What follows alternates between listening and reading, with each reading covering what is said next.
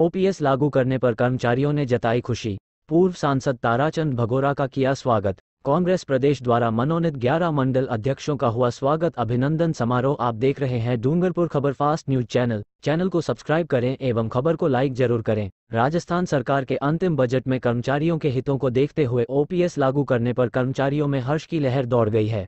इसी के चलते धम्बोला उपखंड कार्यालय में निगम के कर्मचारियों द्वारा पूर्व सांसद ताराचंद भगोरा का स्वागत समारोह का आयोजन करते हुए सरकार का आभार व्यक्त किया। निगम के तकनीकी कर्मचारी संघ ब्लॉक अध्यक्ष हरीश कलासुआ ने बताया कि सरकार ने कर्मचारियों के हित में ओपीएस लागू किया, जो कि सराहनीय है। आतिशबाजी कर कांग्रेस पदाधिकारियों का मुँह मीठा कराया। इस दौरान पूर्व जिलाध्यक्ष प्रियकांत पंड्या, ब्लॉक अध्यक्ष सुरेश भोई भी मौजूद रहे। इससे पूर्व निगम द्वारा धम्बोला कार्यालय में एमनेस्टी योजना को लेकर शिविर का आयोजन किया गया, जिसमें पुराने बकायेदारों, उपभोक्ताओं के बिना ब्याज की राशि जमा कर हाथों हाथ कनेक्शन जोड़कर लोगों को सुलभता प्रदान की। ये योजना आगामी 30 जून तक जारी रहेगी। इस दौरान अधीक्षण अभियंता आर आर खटीक, अधिशासी अभियंता चेतन लाल रोत, ए एन हर्षद पंचाल, कनिष्ठ अभियंता अरविंद रोत, नवीन पाटीदार, नैतिक जोशी सहित मौजूद रहे। वहीं प्रदेश कांग्रेस कमेटी के अध्यक्ष गोविंद सिंह डोटासरा के निर्देशन में विधानसभा क्षेत्र चौरासी के 11 मंडल अध्यक्ष के मनोनयन के बाद सोमवार को सभी नवनिर्वाचित अध्यक्षों का स्वागत अभिनंदन समारोह आयोजित हुआ। सीमलवाड़ा ब्लॉक कांग्रेस कमेटी द्वारा पूर्व सांसद ताराचंद भगोरा के नेतृत्व में पूर्व जिला अध्यक्ष प्रियाकांत पंड्या, ब्लॉक अध्यक्ष सुरेश भोई द्वारा सभी मंडल अध्यक्षों का फूल माला एवं मुँह मीठा करके स्वागत अभिनंदन किया गया। इस दौरान वरिष्ठ नेता जिला महामंत्री हबीब भाई, पंचायत समिति सदस्य महेंद्र भगोरा, पूर्व जिला परिषद सदस्य चिराग पंड्या, प्रेमचंद भगोरा, क्रय विक्रय अध्यक्ष धर्मेंद्र भगोरा, राकेश डामोर सहित कार्यकर्ताओं ने मंडल अध्यक्ष जाकिर भाई पठान हीरा भाई डामोर शंकर भाई यादव, गजराज सिंह चौहान, जयंतीलाल कलासुआ, धूलेश्वर पाटीदार बदामी लाल रोत का स्वागत किया। आगामी विधानसभा चुनाव में कांग्रेस सरकार को रिपीट करने एवं संगठन मज़बूत करने को लेकर चर्चा की।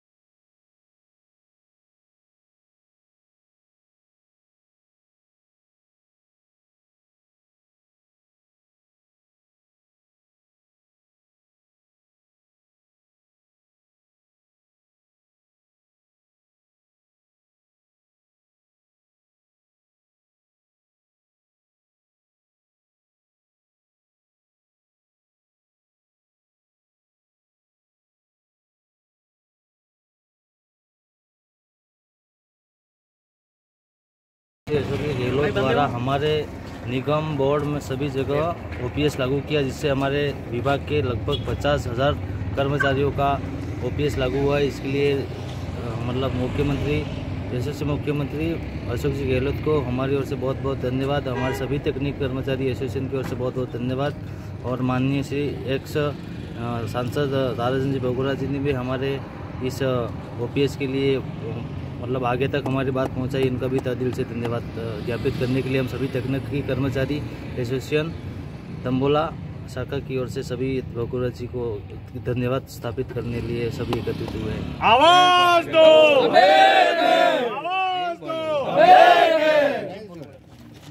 मुख्यमंत्री महोदय परम सम्मान्य अशोक जी गहलोत साहब द्वारा बजट में राजस्थान विद्युत विभाग निगम लिमिटेड कि टेक्निकल हेल्परों को जो ओपीएस की योजना लागू करके दी है और समस्त कर्मचारियों को जिन योजनाओं का लाभ हमारे मुख्यमंत्री महोदय ने, सर्व समुदाय, सर्व गुण संपन्न के साथ जिन्होंने जिस प्रकार से यह बजट दिया है, उसके लिए मैं परम सम्मान्य मुख्यमंत्री महोदय का तह दिल से, हमारी चौरासी विधानसभा की समस्त जनता की ओर से, तमाम कर्मचारियों की ओर से मैं तह दिल से आभार व्यक्त करता हूँ, अभिनंदन करता हूँ कि आपने जैसा बजट पेश किया है, यह बजट अपने आप में एक ऐतिहासिक है।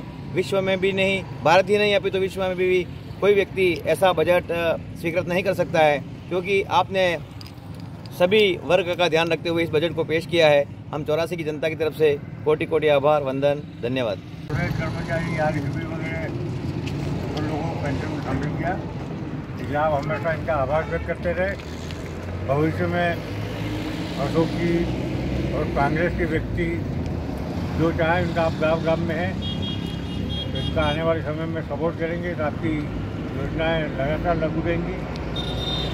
वरना नरेंद्र मोदी तो कल भी लोकसभा में बोला है कि हम ओ पी एस बंद कर देंगे नहीं ये गलत हो रहा है। इसलिए और देश में जानते हो जो कुछ आज कांग्रेस राहुल गांधी के नेतृत्व में छत्तीस कौमों को एक रख के सद्भावना के रूप में काम करने का काम अगर देश में कोई कर रहा है तो कांग्रेस पार्टी उनके मुखिया करते हैं। और आज़ादी भी इसने दिलाई। आज भाजपा के लोग तो बेच रहे हैं, सरेआम। हिंदुस्तान की सार्वजनिक उपक्रम बेच रहे हैं जिससे कि आप और आपके बच्चों की भविष्य में कोई नौकरी मिले नहीं। ये है भाजपा का प्रोग्राम। इसलिए हमें सावधान रहना हमारे बच्चों के भविष्य के लिए। देश के भविष्य के लिए हम दो पार्टी, राहुल गांधी जी, हमारे खड़गे जी चलाया कर जो चला रहे सोनिया जी वगैरह, वो वाक्य में हिंदुस्तान की चिंता है, देश की आज़ादी कराई इस परिवार के कई लोग शहीद हुए तो इनको चिंता है। और दूसरों ने नाखून नहीं कटाया जो अंग्रेज़ों के एजेंट हुआ करते थे, उस जमाने में मुख्य वही लोग आज आकर के कहते हैं कि हम राष्ट्रवादी हैं और दूसरे गैर राष्ट्रवादी हैं तो ये अपने आप में महान झूठ है।